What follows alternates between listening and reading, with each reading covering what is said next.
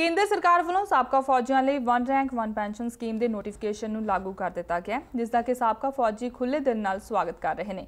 ਬਟਾਲਾ ਵਿਖੇ ਇਸੇ ਤਹਿਤ ਸਾਬਕਾ ਫੌਜੀਆਂ ਨੇ ਇੱਕ ਦੂਜੇ ਦਾ ਮੂੰਹ ਮਿੱਠਾ ਕਰਵਾਇਆ।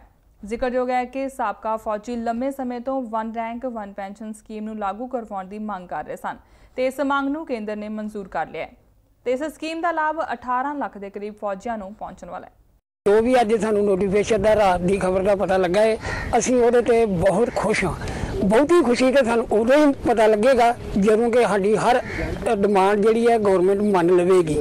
ਤੇ ਮੰਨੀ ਵੀ ਜਾਏਗੀ ਔਰ ਮੰਨ ਵੀ ਲਵੇਗੀ ਤੇ ਸਾਨੂੰ ਉਹਦੇ ਤੋਂ ਬੜਾ ਖੁਸ਼ੀ ਪੂਰੀ ਹੋਵੇਗੀ ਅੱਜ ਅਸੀਂ ਉਸ ਖੁਸ਼ੀ ਨੂੰ ਘੱਟ ਹੀ ਮਹਿਸੂਸ ਕਰਦੇ ਹਾਂ ਕਿ ਗਵਰਨਮੈਂਟ ਜਦੋਂ ਤੱਕ ਸਾਡੇ ਹੱਥ ਵਿੱਚ ਚੀਜ਼ ਨਾ ਆ ਜਾਏਗੀ ਉਹਨਾਂ ਚਿਰ ਅਸੀਂ ਖੁਸ਼ੀ ਨੂੰ ਕੀ ਜ਼ਾਹਰ ਕਰ ਸਕਦੇ ਹਾਂ ਤੇ ਅੱਜ ਬਹੁਤ ਜ਼ਿਆਦਾ ਹੀ ਖੁਸ਼ੀ ਭਰਾ ਆਪੋ ਦੇ ਰਲ ਕੇ कर रहे हैं हमारे को बहुत खुशी हुई है कि इस सरकार ने हमारे जो डिमांड थी वो पूरी की है बाकी कुछ जो ਰਹਿੰਦੀਆਂ ਸਾਡੀਆਂ ਡਿਮਾਂਡਾਂ ਉਹ ਵੀ ਇਹ ਸਰਕਾਰ ਨੂੰ ਰਿਕੁਐਸਟ ਹੈ ਕਿ ਪੂਰੀਆਂ ਕੀਤੀਆਂ ਜਾਣ हम इनके बहुत आभारी हैं इस सरकार के कि उन्होंने जो लागू किया है तो उनसे ये भी अनुरोध है कि जल्दी जल्दी जो भी हमारे पैसे हैं जो भी है जल्दी जो बढ़ी हुई पेंशन है जल्दी जल्दी हमारे अकाउंट में दी जाए तो इनका बहुत बारी है आज खुशी है हम ਖੁਸ਼ੀ ਆਪਣੇ ਬਾਈ ਨੂੰ ਬਾਂਟ ਰਹੇ। ਹਾਂ ਮੈਨੂੰ ਬਹੁਤ ਜ਼ਿਆਦਾ ਖੁਸ਼ੀ ਹੈ ਕਿ ਅਸੀਂ ਆਸ ਵਿੱਚ ਖੁਸ਼ੀ ਇਸ ਚੀਜ਼ ਦੀ ਮਹਿਸੂਸ ਕਰ ਰਹੇ ਹਾਂ ਕਿ ਵਨ ਰੈਂਕ ਵਨ ਪੈਨਸ਼ਨ ਜੋ ਕਿ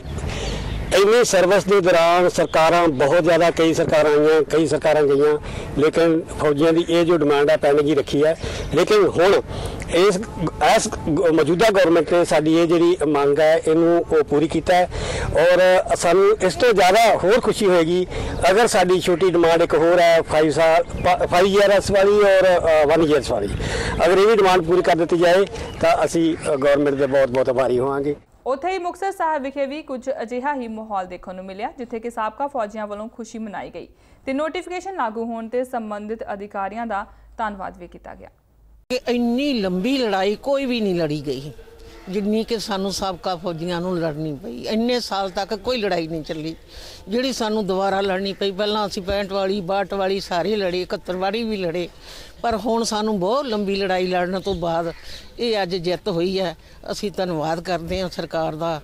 ਤੇ ਸਾਰੇ ਸੈਨਿਕਾਂ ਫੌਜੀਆਂ ਦਾ ਵੀ ਧੰਨਵਾਦ ਕਰਦੇ, ਪਰ ਸਾਨੂੰ ਬਹੁਤ ਲੰਮੀ ਲੜਾਈ ਲੜਨੀ ਪਈ। ਇਹਦਾ ਅਫਸੋਸ ਵੀ ਤੇ ਅੱਜ ਖੁਸ਼ੀ ਸਾਡੇ ਹੱਥ ਆਈ ਹੈ। ਅਸੀਂ ਖੁਸ਼ੀ ਤੇ ਮੋਦੀ ਜੀ ਦਾ ਤੇ ਸਾਬਕਾ ਜਿਹੜੇ ਸਾਡੇ ਸੈਨਿਕ, ਮਤਲਬ ਸੈਨਿਕਾਂ ਦੇ ਪ੍ਰਧਾਨ ਆ, ਉਹਨਾਂ ਦਾ ਵੀ ਧੰਨਵਾਦ। ਤੇ ਜਿਹੜੇ ਬੈਠੇ ਦਿੱਲੀ 'ਚ, ਉਹਨਾਂ ਦਾ ਵੀ ਧੰਨਵਾਦ। ਪਰ ਜੋ ਵਨ ਰੈਂਕ ਵਨ ਪਰਸਨ ਕਾਫੀ ਚਿਰ ਤੋਂ ਸਾਡਾ ਇਹ 40 ਸਾਲਾਂ ਤੋਂ ਮਸਲਾ ਲਟਕਦਾ ਆ ਰਿਹਾ ਸੀਗਾ।